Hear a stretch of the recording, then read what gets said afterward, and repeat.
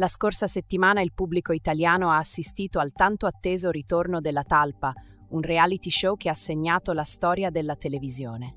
La conduzione di Diletta Leotta ha suscitato curiosità e aspettative, soprattutto dopo anni di assenza dal piccolo schermo. La prima puntata ha messo in luce le novità del format, ma anche le critiche da parte di chi ha vissuto l'esperienza in passato.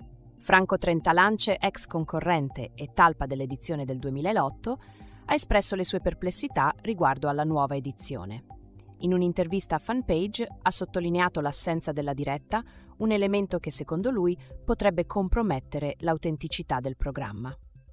Non c'è la diretta, cosa che può essere un problema perché nessun aspetto del programma potrà essere corretto in corso d'opera, ha dichiarato Trenta Lenz, evidenziando come la mancanza di interazione in tempo reale possa influenzare l'esperienza sia dei concorrenti che del pubblico. Un altro punto critico sollevato da Trenta Lenz riguarda la scelta della location. La nuova edizione si svolge a Viterbo, un cambiamento significativo rispetto alle ambientazioni esotiche delle edizioni precedenti.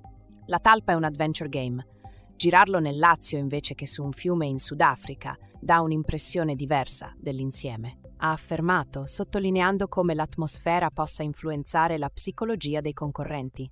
La conduzione di Diletta Leotta è stata accolta con entusiasmo, ma Trenta Lancia ha notato alcune differenze rispetto alla sua conduttrice preferita, Paola Perego. È seria, preparata, professionale e molto bella, ma un po' rigida forse, in mancanza della diretta risulta un po' ingessata, ha commentato. Nonostante ciò ha riconosciuto il talento della Leotta, che si trova a dover gestire un'eredità pesante e un pubblico esigente.